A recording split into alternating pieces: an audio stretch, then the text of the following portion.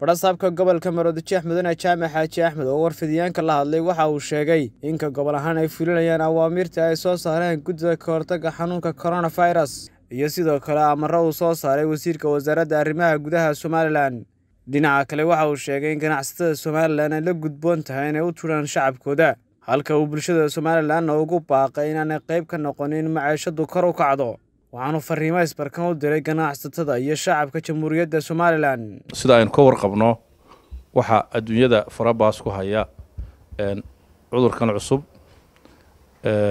runtii adduunyada aada iyo aada ugu baahay iyadoo taa laga duulayo madaxweynaha qaranka jamhuuriyadda somalilan waxa uu magacaabay guddi heer qaran ah oo uu u magacaabay ka hortagga iyo ka diyaargarowga xanuunka adduunyada halaakeeyey annaguna gobol ahaan annagoo ka duulayna awaamiirta guddida qaran ee madaxweynuhu magacaabay iyo amarada uu bixiyey wasiirka arrimaha gudaha jamhuuriyadda somalilan waxaanu ku wargelinaynaa ganacsatada reer somalilan gaar ahaan gobolkan maroodijeex oo runtii ay ka muuqato inay maceeshadii dadkii aad mooddo inay kala boobayaan oo bakhaarada kayuu loogu jiro. Waxaanu dadweynaha reer gobolka maroodijeex ku wargelinaynaa horta guud ahaan dalka somalilan ma jirto wax raashin yaraan ama raashin la'aan oo ka jirta.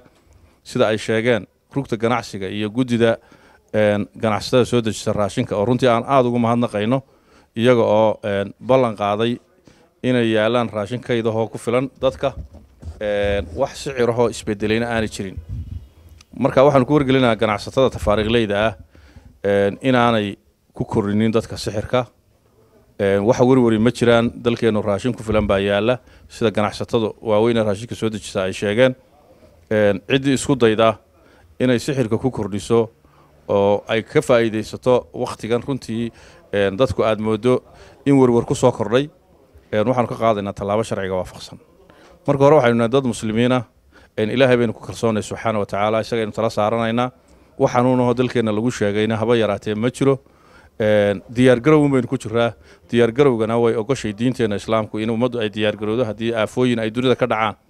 Sida madaxweynaheenna uu guddida u magacaabay ee uu ku tala bixiyey waxaynu ku jiraa diyaargarow diyaargarowgaasi marka hore dad muslina baynu nahay. Innagu ilaahay baynu subxaana wa tala saaranaynaa.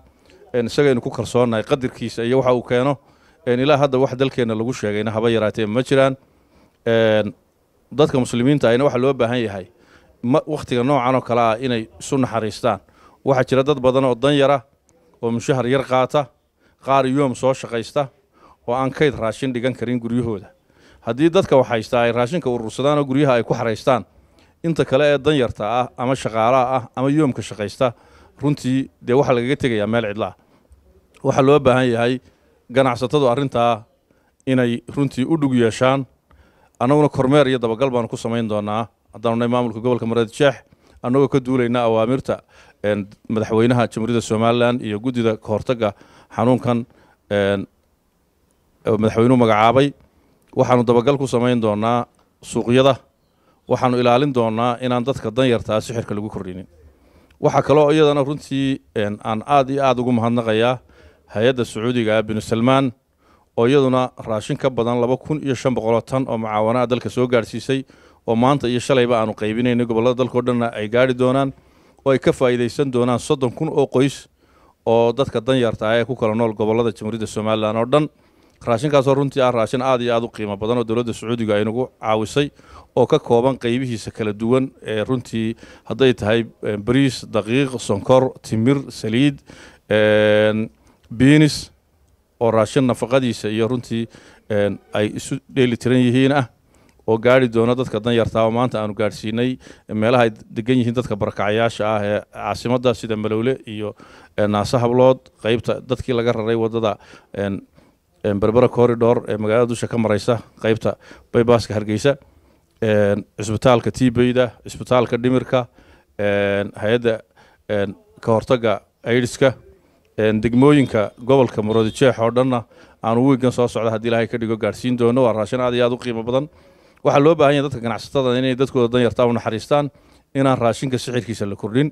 Annaguna waxaanu ballan qaadaynaa inaanu kormeer iyo dabagal ku samayno inaanu suuqyada u kuurgallo inaanu ogaano sixirka raashinka iyo dawooyinka iyo waxyaabaha hadda la leeyahay. Waa la urursanaya dad baa kaydsanaya oo meela ku xaraysanaya diinteenna islaamkuna ma ogola in la sameeyo wax ixtikaar la yidhaahdo. Ixtikaarku waxa weeye iyadoo qofku isku dayo inuu badeecadda loo baahan yahay intuu xaraysto meel ku xaraysto hadhow markuu qaaliyowdo u iibiyo taasina waa wax shareecadeena islaamku ay ka soo horjeedo